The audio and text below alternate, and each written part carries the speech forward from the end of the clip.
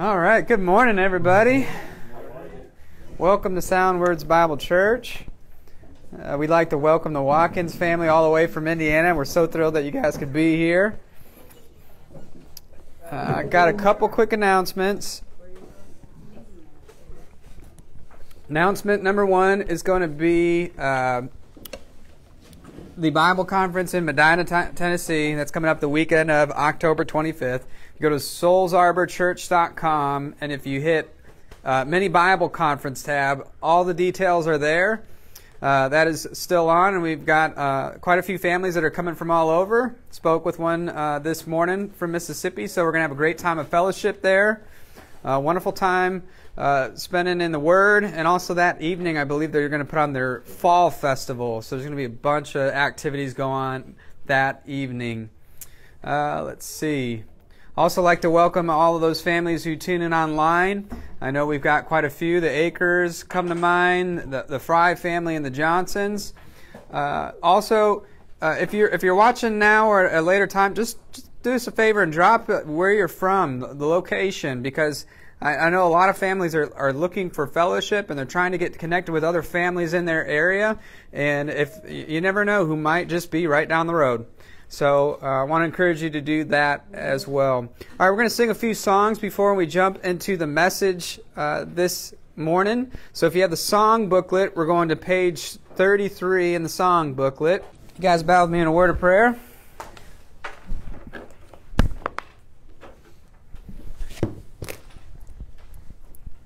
Our great God and Savior, Lord Jesus Christ, we thank you so much, Father, for this morning where we can gather together and magnify your name and your word.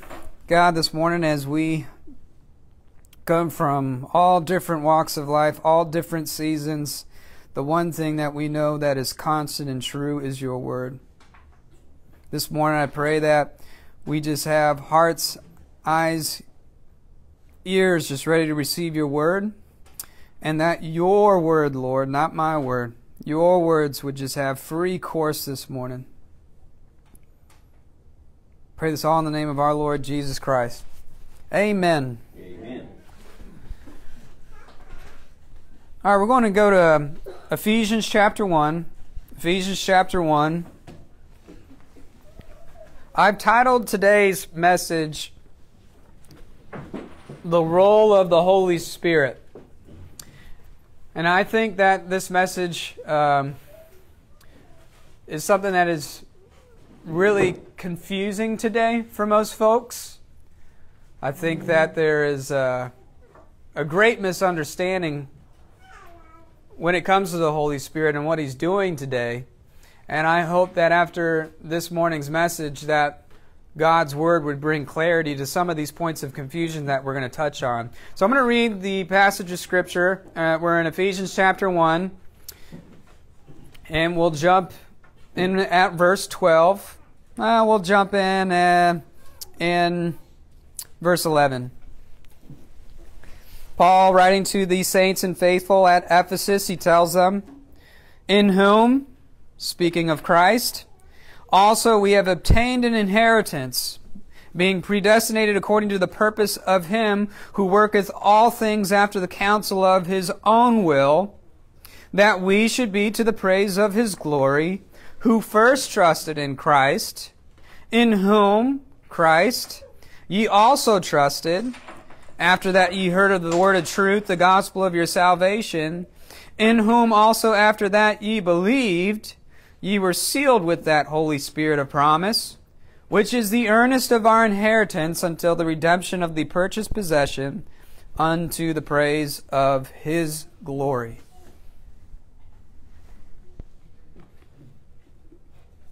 Give it a second to let that sink in.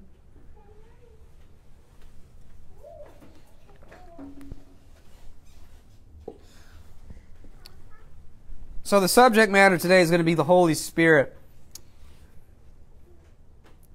I can't tell you how many times I've had conversations over the years and in passing and you hear things like people say, you know, I heard God speak to me, or I clearly heard the voice of God speak to me, and it was this. And uh, things like that happen all the time.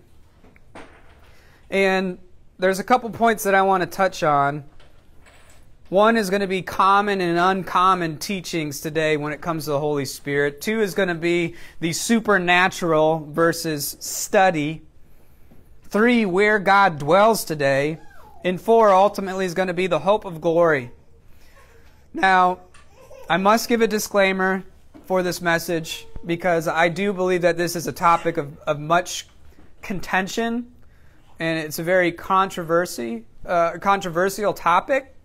And where I'm coming at this is from my own experience. I'm coming uh, at it through the lens of what I've done in my times past in my religion, in my religious days, and how the Word of God is what ultimately matters when it comes to what God is doing today and what it has to say about it.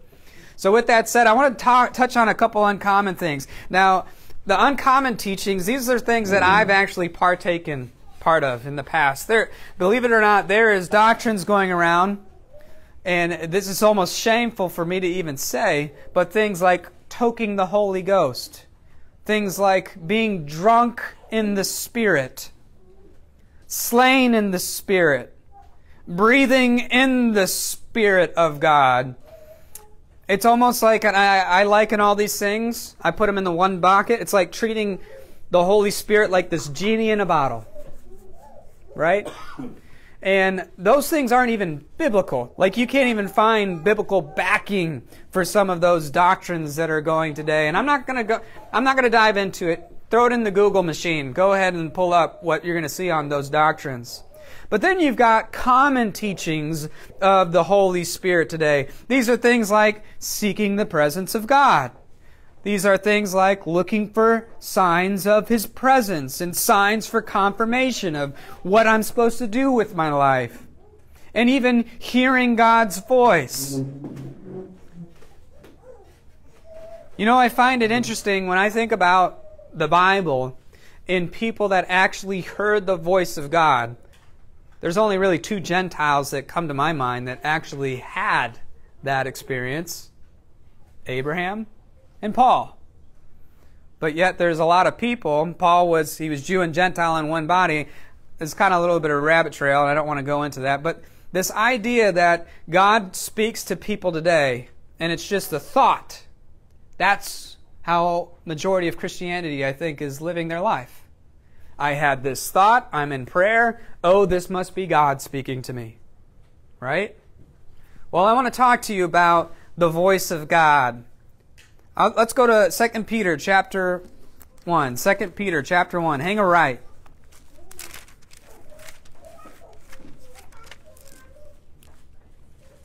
Now, uh, I feel a little bit of like a zombie today. That's dad and zombie, zombie in one.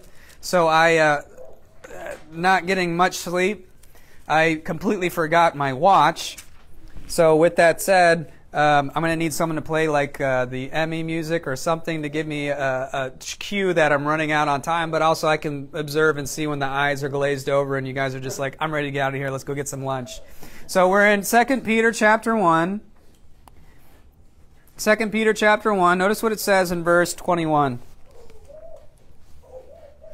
For the prophecy came not in old time by the will of man, but holy men of God spake as they were moved by the Holy Ghost. We'll read one more passage of Scripture. Let's hang a left. Let's go to Hebrews chapter 1. Hebrews chapter 1. We're in Hebrews chapter 1. Notice what it says in verse 1 and 2. God, who at sundry times and divers manners spake in time past unto the fathers by the prophets, hath in these last days spoken unto us by his Son, whom he hath appointed heir of all things, by whom also he made the worlds what did we just read? Well, let's go to our Bible timeline here. Peter just told us that the prophecy, the word, the voice of God, the words of God spoke through the prophets over here, from Genesis through Malachi. That's where God spoke. He spoke by the mouth of the prophets. Right? That's what 2 Peter 1.21 is all about. But then when we read the book of Hebrews, it says that in these last days, Matthew all the way through Revelation, God has spoken to us through His Son, Jesus Christ. Now, these are things that are all past tense, right? Something to just bookmark in your in your brain and, and to think about. Because when you get to the Gospel of Matthew and you start reading Matthew, Mark, Luke, and John, you're going to read things like, well, let's go to Matthew chapter 1. Let's angle left. And I want to go to Matthew chapter 1.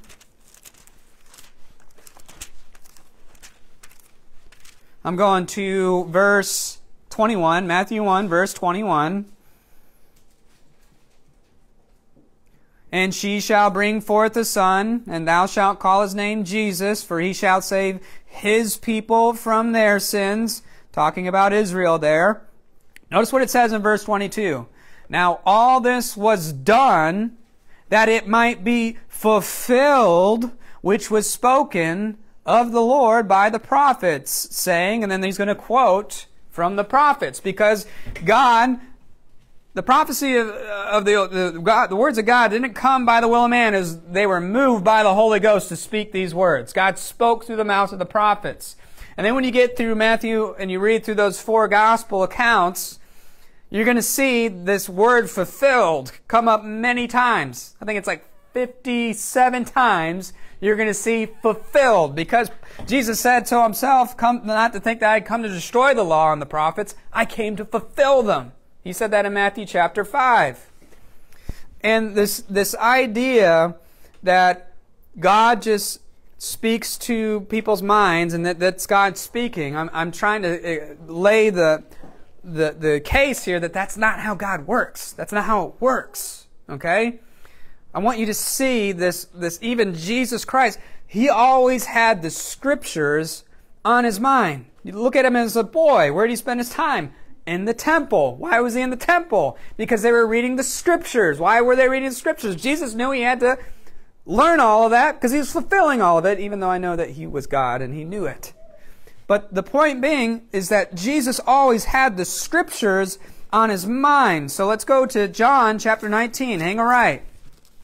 John chapter 19, verse 28. This is Jesus Christ going through the horrific scene at Calvary. He's hanging on the cross. And in verse John chapter 19 verse 28, after this Jesus knowing all these things were now accomplished that the what? Scripture might be fulfilled, saith, I thirst.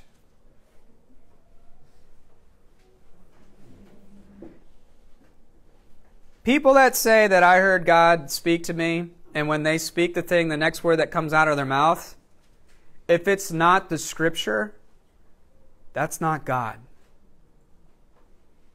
Okay? Jesus knew the scripture. He is the Word of God. That's one of His names. And if you want to know the voice of God, know the Scriptures. There's times in my life when things get tough, or they're good, they're bad, doesn't matter. I have thoughts that come to my mind. And any time that I hear the voice of God in my mind, it's the Scriptures. I can turn straight to it. I know it's written. I know that's the voice of God. That is something that I think is gravely mistaken nowadays. And it's scary when you think about what people do with some of that stuff. I mean, you go to the extreme, you have people saying, God told me to do this. And they do horrific scenes of terror. They're sick in the head.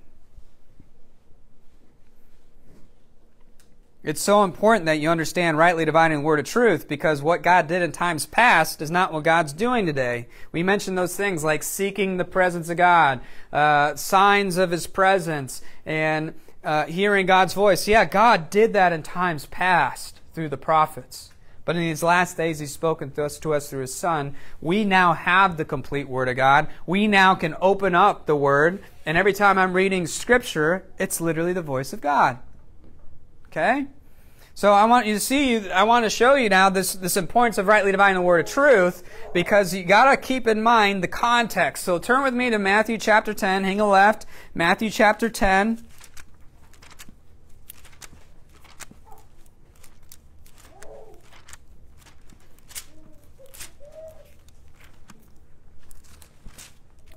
Matthew chapter 10. Now, uh, in the context here, Jesus appoints his twelve. He gave them power against unclean spirits, casting them, able to cast them out, heal all manner of sickness, all manner of disease. And he sends forth his twelve, telling them, don't go into the way to Gentiles, and, but go rather to lost sheep of the house of Israel, telling them to preach the kingdom of the heaven. And notice what he tells them in verse 16.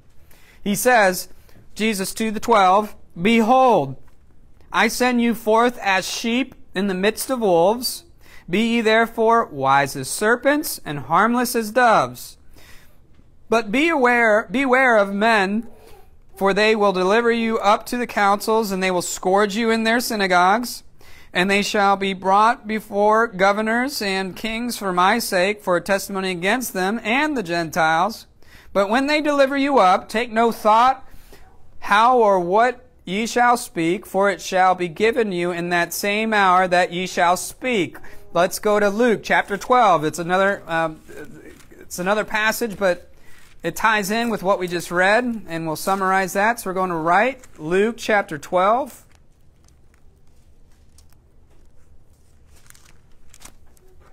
Luke chapter 12, notice what it says in verse 11. It's a, very similar account.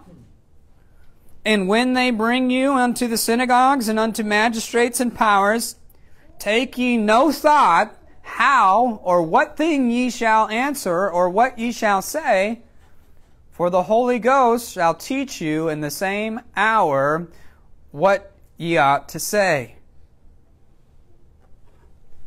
So, this whole entire teaching of God supernaturally speaking through people, this is where they get that inspiration from, right? That's where the, that's where the source of inspiration comes, are these two passages of Scripture.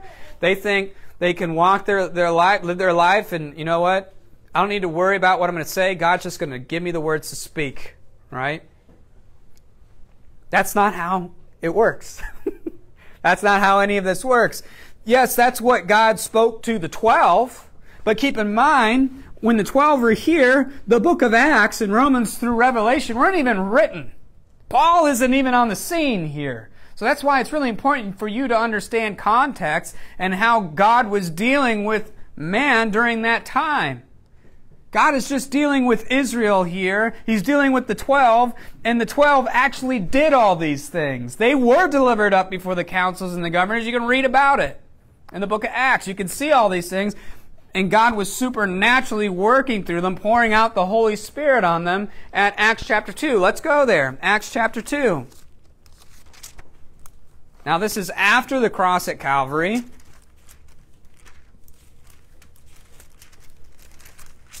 And this is where a majority of Christianity thinks that the church, the body of Christ, started. They're gravely mistaken there. But notice in Acts chapter 2, after uh, you see, this is where people get inspiration for drunk in the spirit.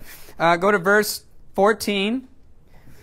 Now, the, the, the tongues, the fire have fallen. They're, they're speaking all in a known language. These weren't made up languages.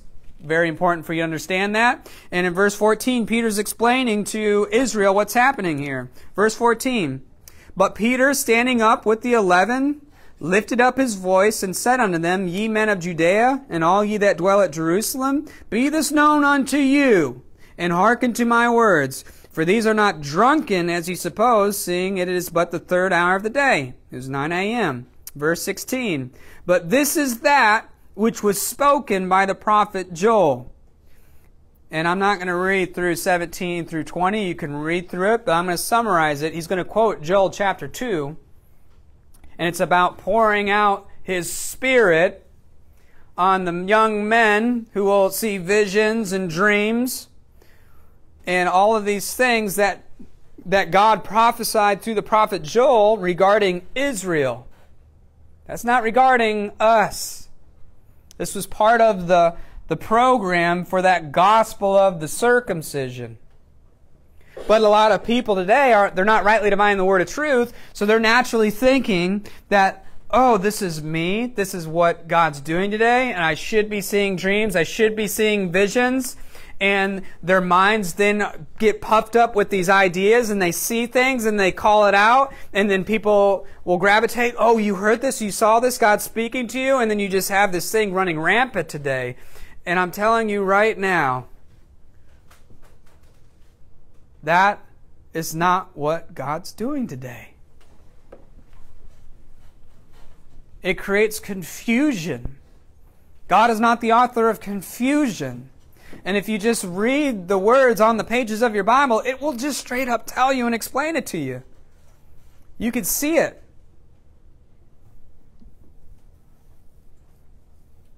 They, they didn't have the, the 12 here and, and right up to here in Acts 2 where we just read. They did not have the revelation of the mystery that was given to Paul. That is so important for you to understand that. They didn't have the complete fulfilled Word of God. It wasn't until you got to Paul in Acts chapter 9 and then uh, through 28 that we got the full revelation of the mystery and we got the fulfilled Word of God. Go to Colossians chapter 1. Colossians chapter 1. Hang a right.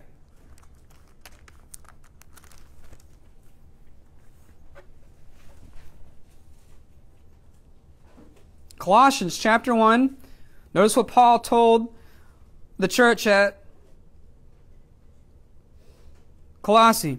Verse 25, whereof I am made a minister according to the dispensation of God, which is given to me for you to what? Fulfill the word of God. Paul's epistles, his 13 epistles, fulfilled the word of God. God's word is complete. God has said everything that he wants us to know.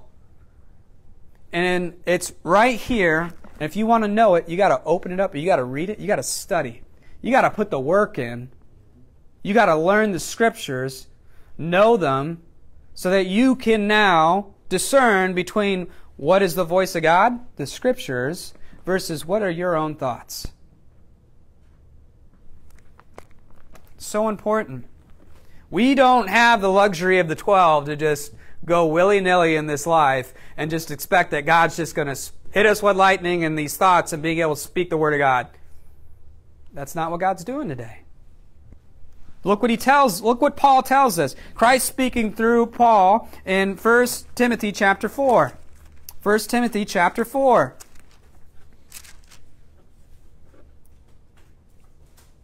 Verse 13. We're in 1 Timothy chapter 4, verse 13. Paul tells Timothy, till I come, give attendance to what? Reading, to exhortation, and to doctrine. So he's basically telling Timothy, you know what you need to do? Get in my 13 books. Read them. Those are the words of Christ. These are the instructions that you're supposed to do today. It's very simple. It doesn't take you but a couple hours to read through those 13 books just like that. And you read through those 13 books, it'll change your life. There's another thing that, that Paul told Timothy in 2 Timothy chapter 2. Take it right. 2 Timothy chapter 2, verse 15. And, and attends us to give the reading, to exhortation, and to doctrine. Here's the key, Timothy. 2 Timothy chapter 2. Study.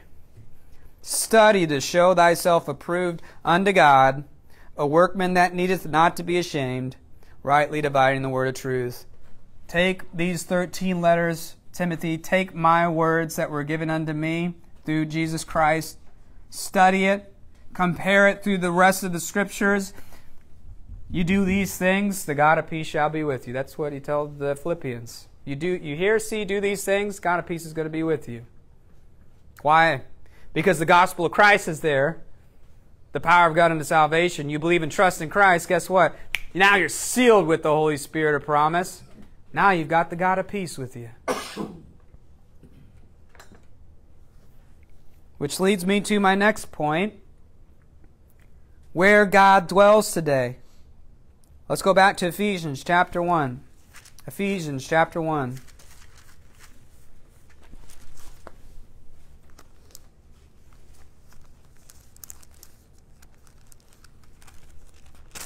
Ephesians chapter 1, we read it earlier. This is the very first verse we read, starting this off. Let's go back to verse 13. In whom ye also trusted, after that ye heard the word of truth, the gospel of your salvation, in whom also after that ye believed, ye were sealed with that Holy Spirit of promise. I've talked quite a few times about my background and, in leading worship in, in churches. And uh, very early on in, in my walk, I got plugged in with a lot of denominations, leading their worship groups. And, and one of the things that I'd do is I'd sing songs and I'd pray prayers like seeking the presence of God and wel- wel- welcoming the presence of God into the space. And I was supposed to be an usher of the Holy Spirit. These are things that I did in times past, being ignorant of the scriptures in the Word of God. But when I got into the scriptures and I started studying, the, the Word of God straightened me out and showed me where I was wrong. Because what we just read is that where God is dwelling today is in the believer. I can't seek the presence of God because where I go, God's with me. That is incredible. Where I go, He goes. Doesn't I don't have a choice. He doesn't have a choice. We're one. So, but, but you've got preachers out there saying, oh, if you want the secret of life, you got to seek the presence of God. You got to get your life right. How's that working out for you? Because I tell you what, that guy probably can't even get his life straight, but he's telling people to do something that he can't do. That's why Christ came. We couldn't make ourselves right. God had to humble himself take a horrible death at Calvary, shed his own innocent blood, die for you, and then be resurrected from the dead so that you could get right with him.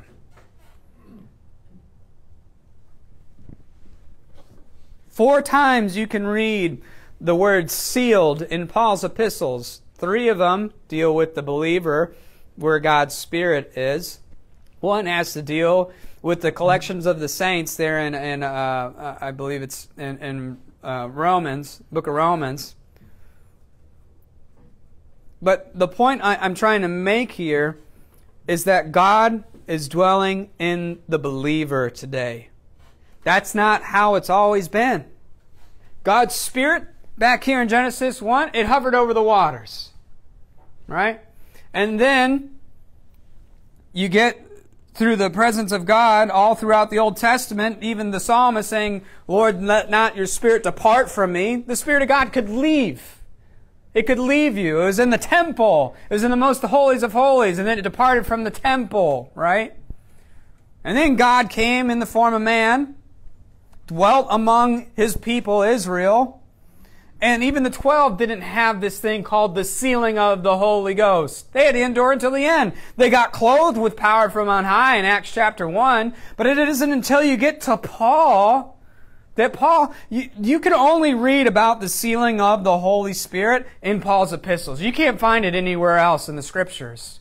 We're living in this unique time where the Holy Spirit of God is dwelling inside us. It's amazing. It blows my mind. It doesn't make sense. And this time frame will end. That's what the great catching up of the church, the body of Christ is here. And we're going to see the wrath of God poured out upon this world. But we shouldn't be ignorant. I can't think, think of how many times Paul says, I would not have you be ignorant, brethren, of this mystery. God is dwelling in people today, and He's not dwelling in buildings. And if people would realize or come to the thing, they need to, they need to look at the gospel? What is the gospel? They need to reevaluate that for themselves. What is the gospel? What have they believed? God only tells you one place where the gospel is. 1 Corinthians 15. Let's go there. Paul says, In whom he trusted after you heard the word of truth, the gospel of your salvation. What is that gospel of your salvation?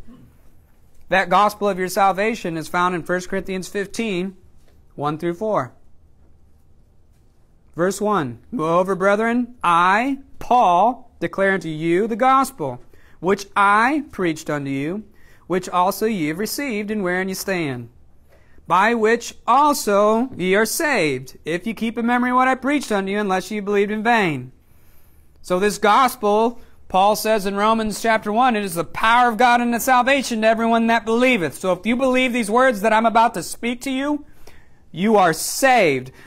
1 Corinthians 15 verse 3. For I delivered unto you first of all that which I also received, how that Christ died for our sins according to the Scriptures, and that he was buried, and that he rose again the third day according to the Scriptures. There you have it. That's the gospel of, sal- of your salvation. If you believe that Christ died for your sins at the cross at Calvary, but not only that he died for your sins, but he was resurrected from the dead, you're saved. I got great news for you. You've got the same spirit that raised Christ from the dead sealed on you. And when God seals you, who can unseal it? Only God. Only God can unseal it. So as you walk through this life and you commit that sin, whatever it is, I got great news for you. You're still sealed. You can't lose it. 1 Corinthians or 2 Corinthians chapter 5 verse 21 it says for God hath made him to be sin for us who knew no sin that we might be made the righteousness of God in him. The moment you believed and trusted, you are made right with God and you can't change that. That's a sealing thing. You're sealed. Got resurrection power living inside you. I can't feel it. I can't see it. I'm not getting goosebumps, but I know it's there. And how do I know that? Because the scriptures tell me that. Not because I made this up or I heard it. The scriptures told me this. You're a temple of the Holy Ghost. Let's hang a left. Let's go to 1 Corinthians chapter 13. 1 Corinthians chapter 3. Notice what it says in verse 17. 16. 16, verse 16. 1 Corinthians chapter 3, verse 16. Know ye not that ye are the temple of God, and that the Spirit of God dwelleth in you? Paul was having to straighten out the Corinthians. I don't have time to go into what they were doing there, but the Word of God is very clear we're the temple of the Holy Ghost. Your body is the temple. You can't go to a church building. You can't go to a worship gathering to seek the presence of God. Why? Because you're the temple of the Holy Ghost. If the Spirit of Christ be in you. If you've trusted in the gospel of Christ. If you haven't trusted in Christ, if you haven't trusted and believed in the gospel of Christ, guess what? You're not a temple of the Holy Ghost. You're dead on the inside. But I got good news for you. You just believe and trust in Christ, you'll be made alive. Turn to 2 Corinthians chapter 6. 2 Corinthians chapter 6.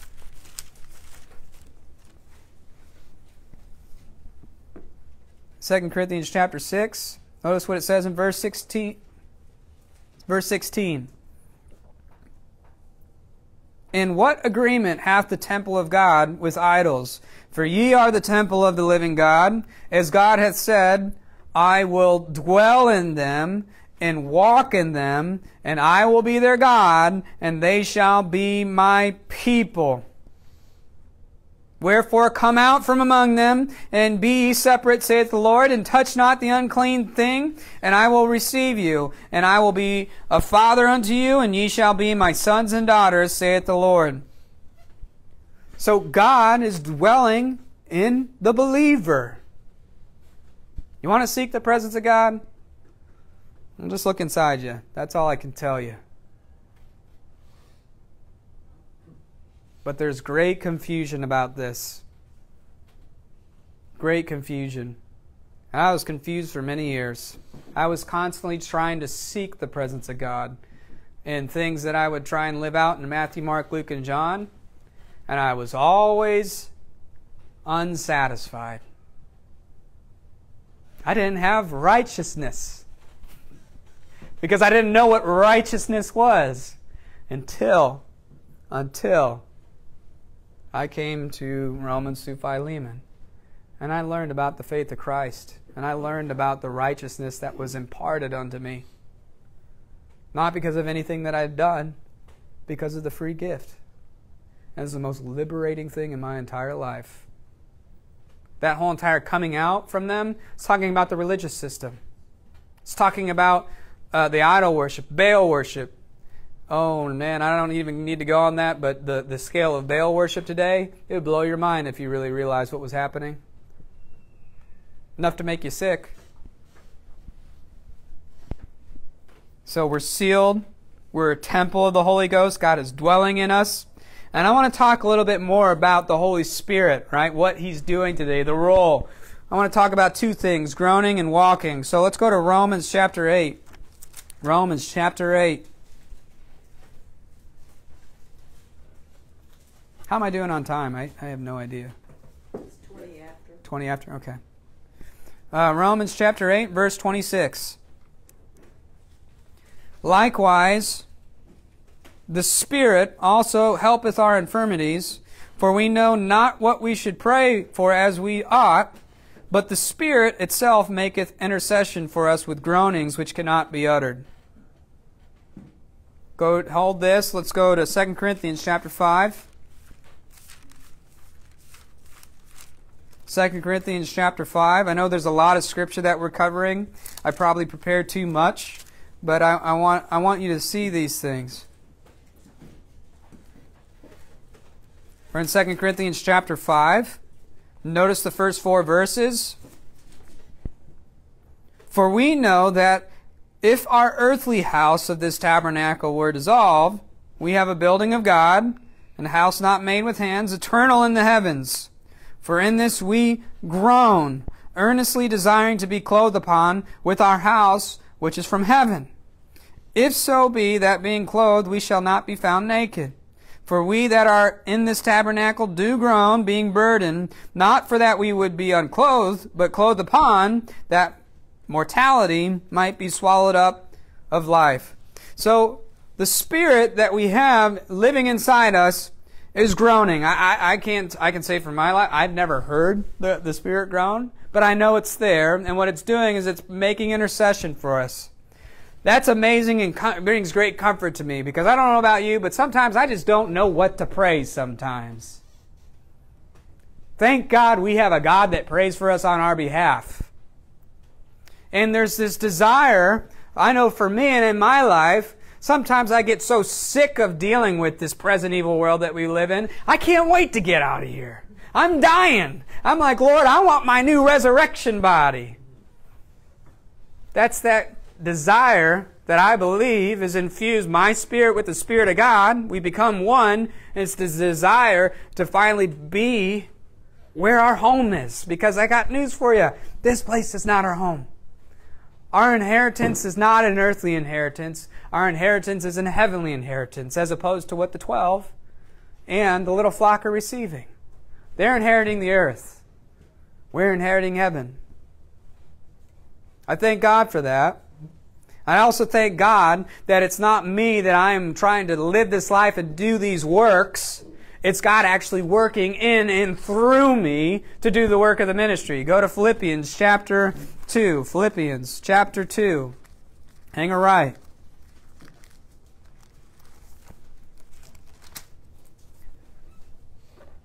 Great controversy and great confusion about this passage of Scripture, but with everything we've discussed, it makes perfect sense. In Philippians chapter 2, notice what it says in verse 12. Wherefore, my beloved, as ye have always obeyed, not as in my presence only, but now much more in my absence, work out your own salvation with fear and trembling. Most people stop. Let's keep reading. Verse 13. For it is God which worketh in you, both to will and to do his good pleasure. So it's the Spirit of God that is working in and through us to carry out his will. Praise God. And it's guess what? It's not for our glory. It's for His glory. Praise God. Amen. And I want to talk to you a little bit about that glory, that hope of glory that we have. Let's go, uh, hang a left. Go back to Ephesians, verse 30. Ephesians chapter 4, verse 30. And grieve not the Holy Spirit of God whereby, whereby ye are, there's that word again, sealed unto the day of redemption. That sealing of the day of redemption is right here when the church of the body of Christ is getting caught up out of here. And that, that deal, that day of redemption is going to be a day of glory. All right. Glory, glory is light. Think about the glory of the sun. It's light. Right. There's glory of the stars. You can see the glory of the stars at night when you look up at nighttime. There's the glory of, of the moon. We've got glory inside of us. All right, it's light. And there's something that, that Paul expounds a little bit further there in uh, Colossians chapter 1, uh, 3. Colossians chapter 3. Hang on, right? We're getting a really, really good workout today with the pages. I can hear all the wrestling of the pages. It's one of my favorite sounds. In Colossians chapter 3, notice what Paul writes in those first four verses. If ye be risen with Christ, seek those things which are above, where Christ sitteth at the right hand of God. Set your thing, set your affection on things above, not on the things of the earth. For ye are dead, and your life is hid with Christ in God. When Christ, who is our life, shall appear, then shall ye also appear with him in glory. I can't wait for that day. We got the Holy Spirit of God dwelling in these. It's just butt dust, right? That's what the Bible calls it. We're butt dust.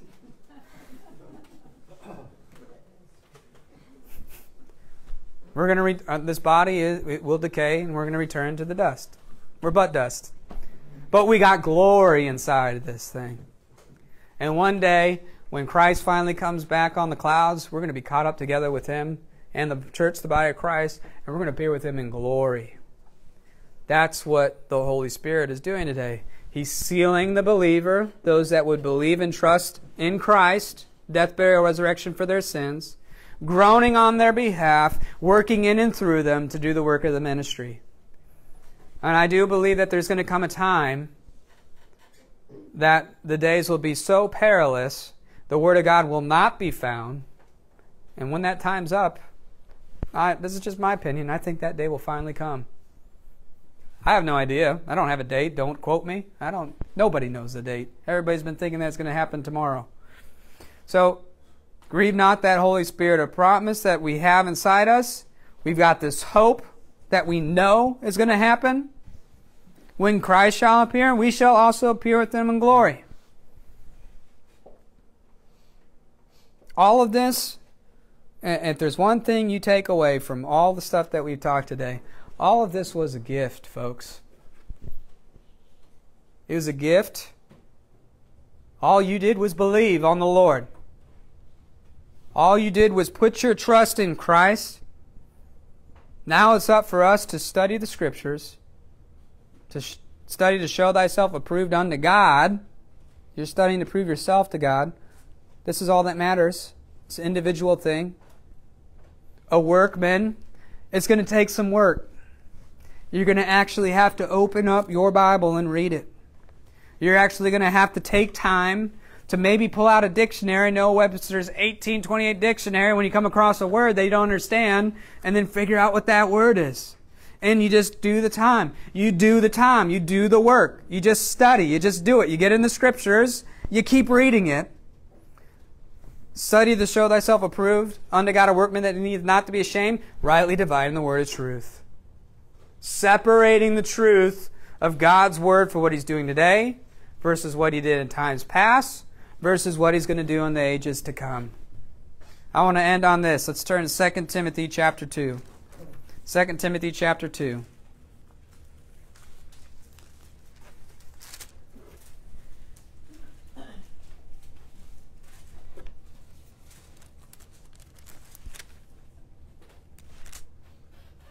Verse 19. Nevertheless, the foundation of God standeth sure, having this seal The Lord knoweth them that are his, and let everyone that nameth the name of Christ depart from iniquity. The Lord knows those that are his. I take great comfort in that verse. I take great comfort knowing that I'm sealed with that Holy Spirit of promise, sealed unto the day of redemption. I take great comfort in Romans chapter 7. I call it the doo doo chapter for a reason. Because we're just but dust. Let's close in a word of prayer. God, we thank you so much for this day. We thank you for your word and the truth therein. We thank you for that Holy Spirit of promise. We thank you for that great sealing of the church, the body of Christ, and you know those that are yours. As we depart from here, Lord, I pray that we continue to just dig into your word, dig into your scriptures, and that the word of Christ would just dwell richly in those here and those that are tuning in online and that we continue to do the work of the ministry, to continue to do workman's part of getting into your word, studying, rightly dividing the word of truth. We love you, Lord, and we give you thanks and praise all in the name of our Lord Jesus Christ. Amen. Amen. Thank you so much for being here, guys. Have a great week.